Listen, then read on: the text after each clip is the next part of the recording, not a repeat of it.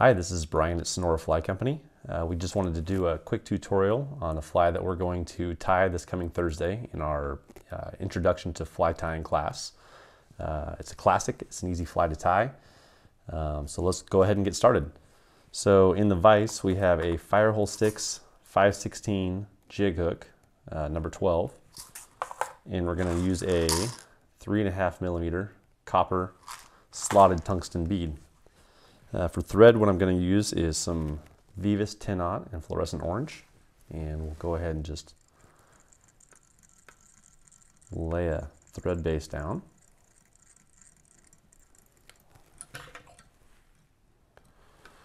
For a tail, we're going to use barred and speckled Coq de Leon. And what I like to do is strip off the under fibers until I get to the good stuff. And I'm only going to want about maybe four fibers here. That looks good. So you strip those off together, keep them pinched in your right hand. You're going to lay those across the top of the shank of the hook. With your left hand, your index finger and your thumb, just go ahead and pinch that in place. Now what I'm going to do here is called a pinch wrap. And you loosely bring your thread up from the back side and put it in between your index finger and your thumb. Come back around the hook and you don't apply pressure until you're pulling back up. That will lock those fibers right on top of that hook shank. You can go ahead and capture the rest of them. Bring that thread forward again.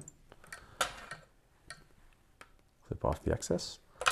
And one thing to bear in mind here, you want a nice short tail. You don't want that tail to be too long. So better to be a little bit too short than a little bit too long on that, I think. So uh, next what we're going to use is some Brassie sized copper wire.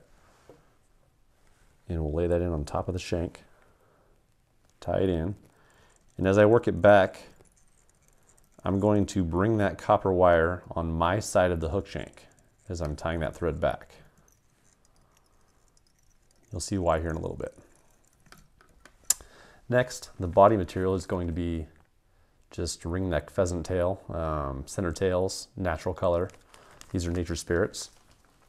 And same thing, you're gonna wanna peel back about, I don't know, five or six fibers here and just pull those right off the, uh, the spine of the feather. These I'll usually line up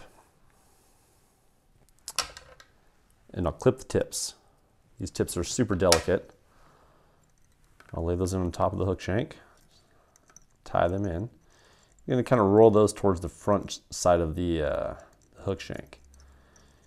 And go ahead and build this body. You want to build a nice taper as you work that thread forward.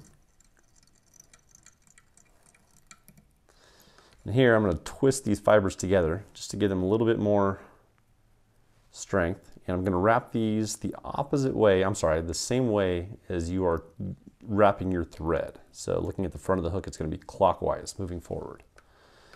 And what I like to do is use my right hand to spin them around and just hold them in place with my left hand as I move them forward. And I want to leave a little bit of space here. I don't want to crowd that head just yet. So go ahead and put a couple loose straps up there. Capture that material. Clip out the excess. At this point, we're going to take that copper ribbing and we're going to wind that the opposite way. And this is why you laid that on your side of the hook shank. You're, you're going to wind it the opposite way that you are winding your thread that body. Nice even turns. Get to the front, go ahead and capture that. Usually put a couple more good hard turns on that, and then I'll, I'll keep some pressure here on my thread, and I'll helicopter that wire off. Gives you a really nice clean break there. A couple more turns.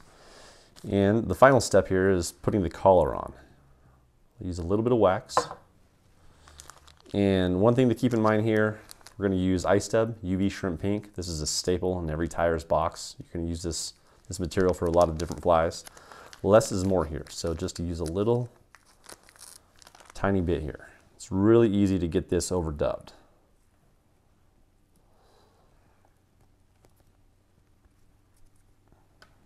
That looks pretty good right there. Keep that nice and tight up against the, uh, the bead there. And then once you get that on, I like to make about three or four or five more turns with that orange thread. We're gonna create one more little orange hot spot in front of that collar. So at this point, I'll just take some brushable Loctite. Just put a little bit on that, that thread.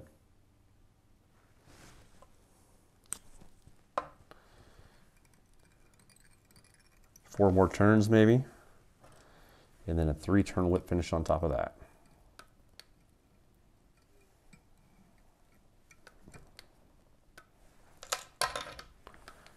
Go ahead and clip off the excess and that fly is ready to fish.